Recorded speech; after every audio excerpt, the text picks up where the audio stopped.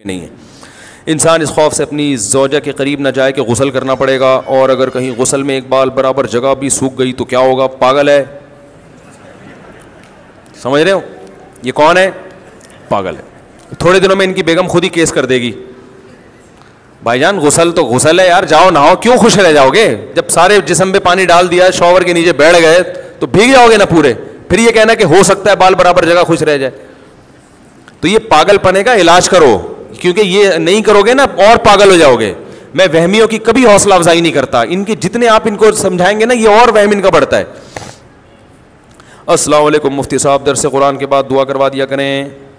भाई, सब लोग बयान के बाद दुआ करवाते हैं। मैं इसलिए नहीं करवाता ताकि इस दुआ को लोग लाजिम ना समझें। तो इसलिए पूरी दुनिया में एक आदमी ऐसा रहने दो जो बयान के बाद दुआ ना करवाए, ताकि लोगों को पता चले कि ये दुआ ज़रूरी नहीं है। और वैसे मजलिस के अख्ताम की दुआ पढ़ लेता हूँ, वो भी काफ़ी है।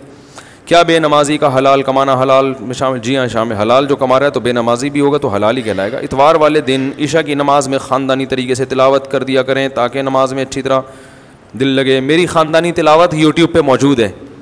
बहुत से लोग कहते हैं, आप अपनी तिलावत रिकॉर्ड करवाएँ। तरावियों की जो तिलावत है मेरी, आप यूट्यूब पे लिखें, मुफ्ती तारिक मसूद रिसाइटिंग। तो मेरी सूर्य मरियम की तरावी की तिलावत मौजूद है, जो सुनना चाहे सुन सकता है।